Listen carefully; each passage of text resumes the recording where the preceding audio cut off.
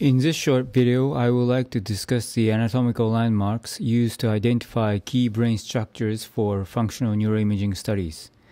The lateral surface of the brain can be divided into three segments, referring to the Sylvian fissure and the precentral sulcus. The precentral sulcus can divide the Sylvian fissure into the proximal and distal Sylvian fissures. The precentral sulcus usually consists of the superior and inferior segments and is intercepted by the superior and inferior frontal sulcus.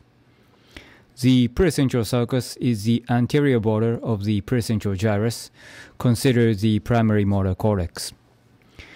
On the other hand, the central sulcus is the precentral gyrus's posterior border and the postcentral gyrus's anterior border. It should be noted that no sulcus intersects the central sulcus, which is a crucial structural difference between the precentral and central sulcus. Uh, this anatomical knowledge can be readily applied to finding the central sulcus on MRI. When the brain is observed in an axial plane, the precentral sulcus can be appreciated as an oblique sulcus intersected by a vertical sulcus corresponding to the superior frontal sulcus. The central sulcus is the oblique sulcus located posteriorly, thus enabling us to identify the precentral gyrus or the primary motor cortex. From a sagittal perspective, the precentral sulcus can be identified as an oblique sulcus intersected by a horizontal sulcus corresponding to the inferior frontal sulcus.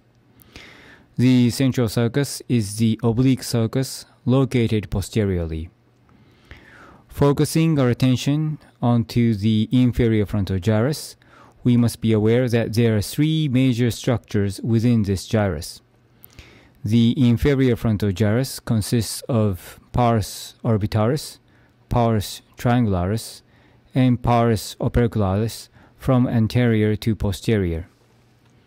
The pars triangularis is bordered anteriorly by a horizontal fissure deriving from the point of transition from the proximal to the distal Sylvian fissure. The posterior border of the pars triangularis is a vertical fissure deriving from the same location as the horizontal fissure composing the anterior border of the pars triangularis. The pars triangularis corresponds to Brodmann's area 45 and the pars opercularis to Brodmann's area 44. Broca's area is considered one of the most crucial structures in a conventional language model, activating motor system to produce spoken language. Taking advantage of the discussed anatomical knowledge, it is now possible to identify Broca's area on sagittal MRI. The inferior frontal sulcus and the precentral sulcus will be the primary guides to identify the Broca's area. Next, I would like to move to the parietal lobe. The intraparietal sulcus divides the parietal lobe into the superior and inferior parietal lobules. The intraparietal sulcus intersects with the postcentral gyrus, which is the posterior border of the postcentral gyrus. The inferior parietal lobule consists of the supramarginal gyrus and the angular gyrus.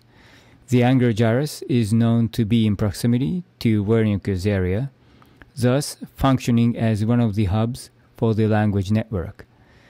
The superior temporal sulcus runs from the anterior segment of the temporal lobe into the angular gyrus in the parietal lobe. Wernicke's area is located at the very end of the Sylvian fissure within the superior temporal gyrus.